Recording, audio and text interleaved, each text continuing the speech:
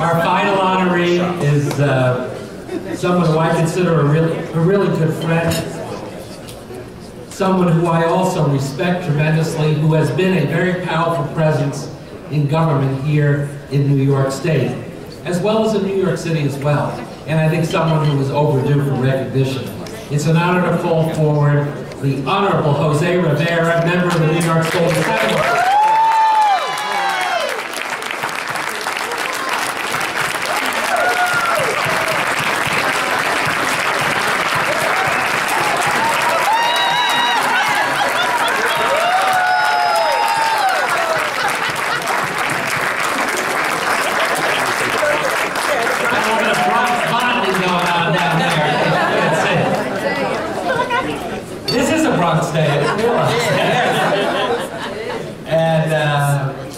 This is another very proud, proud resident of the Bronx.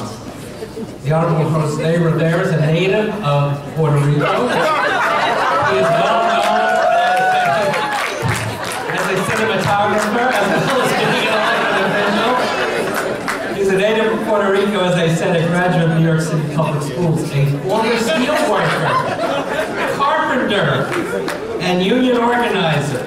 Jose founded an employment agency for Bronx workers prior to his election to the New York State Assembly. He served in the State Assembly from 1982 to 1987. Then he went to the New York City Council from 1987 to the year 2000, and once again won election to the State Assembly. He's committed to helping working families build better lives with an emphasis on jobs, housing, and social justice. He's a leader in the Black and Latino caucuses in the state assembly and in the st state in the, in the city council as well, but he was there. He has spoken out repeatedly on national and international issues as well as city and state issues. An advocate for bilingual education, improved nutrition, equal opportunity in hiring and contracting. He was a leader in the fight to restore the beauty and integrity of Vieques. And he was one of the leaders in that great battle. And I know he has a lot of pride in the success of that battle. He's the chair of the Bronx County Democratic Committee. And I can tell you on a personal level, he has been a great friend and a great advisor to me. When I first came to Albany as a member of the State Assembly in 1987, Jose was there. I turned around a few months later, and he was gone. He went to the New York City Council. But he came back.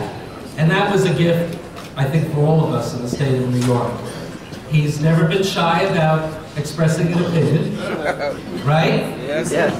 Naomi, right? Oh boy. Former Assemblywoman Naomi Rivera joins us to salute her dad as well. And whether he is speaking in the Democratic conference or speaking on the floor of the State Assembly, or pulling you aside, as he would often do with me, and telling you what he thinks, and sometimes telling you when you're not thinking the right way. I have found with Jose, you get complete honesty, you get true friendship, you get incredible loyalty as well. When you look at Jose's life, he has done so much in so many different roles, but he is someone who is as energetic and enthusiastic about making change for everyday people today as he was when he started on his mission so many years ago. And as I said at the outset, I say I think it's overdue for us to pay you recognition. You have been one of the mainstays in government in our city and our state, and it's a privilege for me and for all of us to honor you this morning.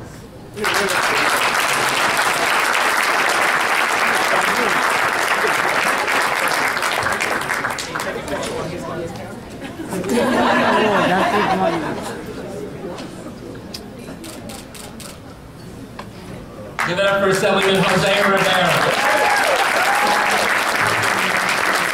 Good morning.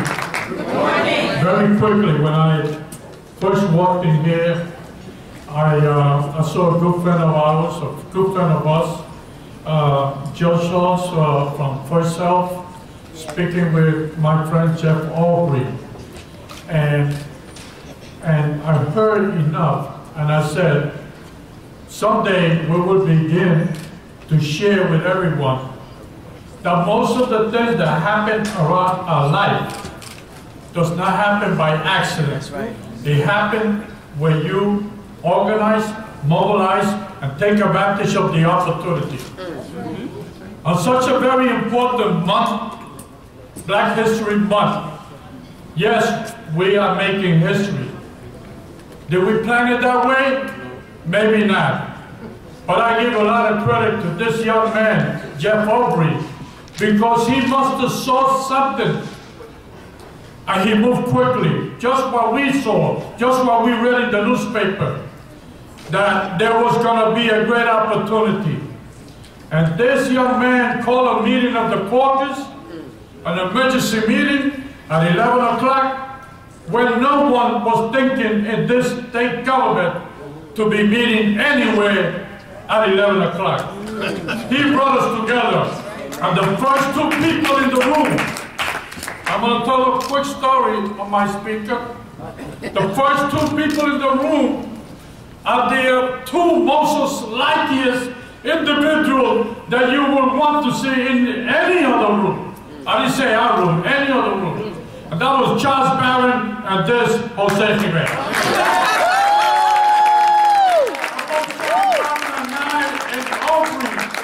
recognizing bitterly that there was an opportunity.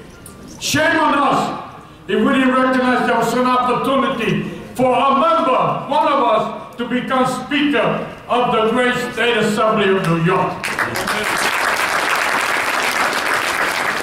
After a while, others came in, and my friend Carl Heastie walked in to say something. I remember asking him, you're not declining, are you? and he left the meeting, and we agreed that we had to walk out of there with only one candidate. So I got to thank Keith because he withdrew his uh, name, took his name out, and then we had one candidate. That's how it happened. Now, how I get to this place? I didn't drive up here. I was brought up here back in 1955 by a great leader. Rosa Parks was my leader. When I was a young man, brought on the beach, a teenager, for my safety, New York finance would tell me, go to section one by the rocks in Orchard Beach. That's how, that was what's happening in 1955. So, this was not happening in the South. This was happening in the South Bronx. That's where I grew up. Section 1 by the rocks, that was our section. It began to change because we saw our great people there to challenge America in those days. Ugly America in those days. Stand up and risk their life in those days. That's how I got here. I got here because I'm a product of the civil rights struggle that took place in this country. Medgar Evers, Medgar Evers, Medgar Evers dedicated his life for the right for people to be able to register to vote.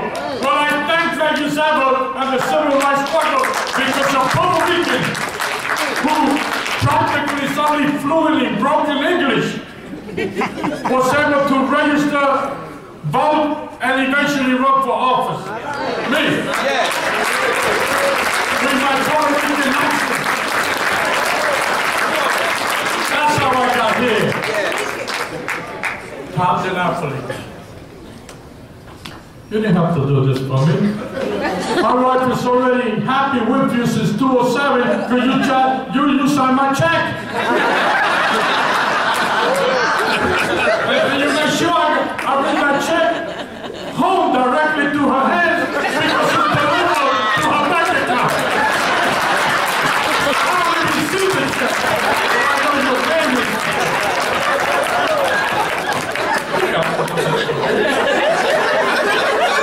Two very interesting things happened in my lifetime while in government. But, you know, I'm not too happy because John Barrett and I, we coming back to this great body on a pay cut. 207, we had a governor that said, do it my way or is the highway. That governor attempted to tell us who he had for controller. I'm gonna dare do this right now because I don't know if time limitation or whatever it's fine or whatever. But I recall getting up after everybody spoke and there were some members that were concerned because this governor was saying that he was gonna go into our district and campaign against us. Tom is the best witness I have among others here. I finally raised my hand when everybody spoke. And they were concerned. I remember speaker saying to all of us, and Carl was there, the speaker said, "Uh, you know, we gotta work with the editorial writers because they're on the side of this governor. I get up and I said, I was never, and my kind of people will never get elected by the, whatever the editorial writers say back home in New York City. If this governor thinks that he's gonna intimidate me and shake me down, and if he begins to drive up the East River Drive to go come upstate, he has to come across the Willis Avenue Bridge.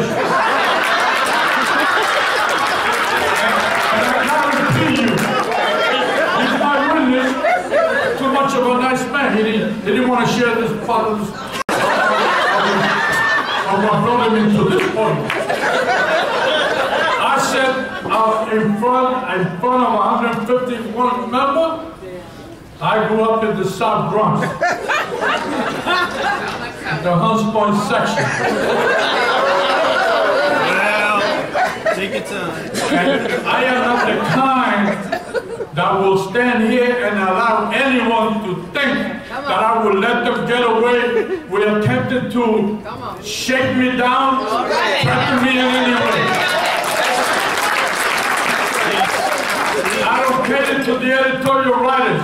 Bronx is in the house. I said, before he gets across Willis Avenue Bridge, he will not only have one flat tire, but he will have four flat tires.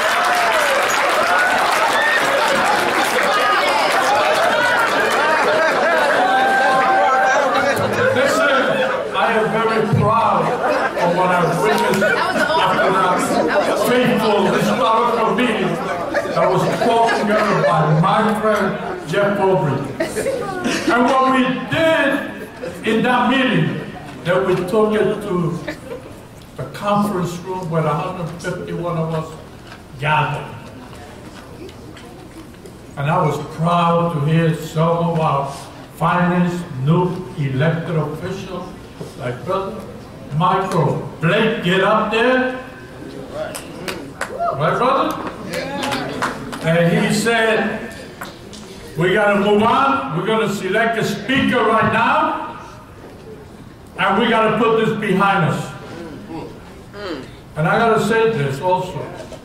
And then there were those who attempted to recapture a moment.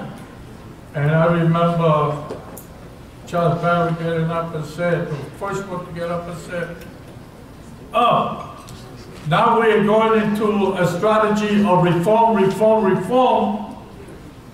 That means there's an attempt to tie down the hands of all of us and our new speaker, Carl Heastie. Mm. Ain't gonna happen. That's right. Okay. Yes, we need reform, but we need those of all of us, listen to what Carl said. I believe he's up to the job, number one, I said it publicly all over. But we need to rally around our speaker, Yes, Lord. because if we allow any editorial writers to get away with it, mm, That's right. Maybe I don't know what I'm talking about. But when David Dinkins became mayor, mm-hmm.